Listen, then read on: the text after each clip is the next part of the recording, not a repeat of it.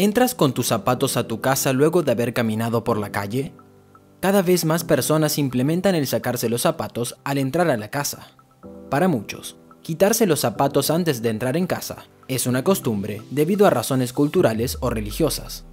Pero para otros, es una forma de mantener el hogar libre de suciedad y gérmenes. Caminamos por todos lados y pisamos todo tipo de superficies que poseen tierra, agua, desechos, saliva, heces, diversas superficies con texturas asquerosas, y las diferentes partículas las ingresamos a nuestro hogar. ¿Sabías que tus zapatos pueden traer más bacterias a tu casa que las que hay en un inodoro? En un día normal, nuestros zapatos llegan a recoger unas 400.000 unidades de bacterias, tanto en la suela como por dentro.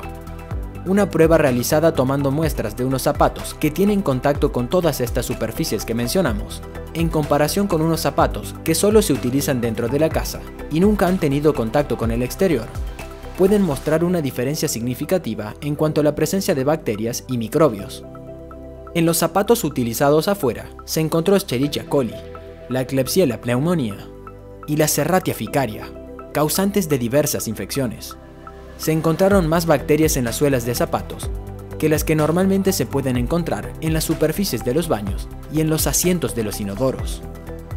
Esto sumado a otros agentes presentes en el ambiente, como el residuo de las carreteras y el asfalto, que en algunos casos tienen toxinas cancerígenas, o los productos químicos con que cuidan el césped y que pueden producir alteraciones en el sistema endocrino. Sin embargo, ninguna de estas investigaciones ha asegurado que estos hallazgos supongan un problema para el ser humano aunque sí es cierto que los zapatos pueden ser el vehículo perfecto para las bacterias, que en caso de tener heridas o algún corte superficial de la piel, o entrar en contacto con nuestras mucosas, puede ser completamente perjudicial.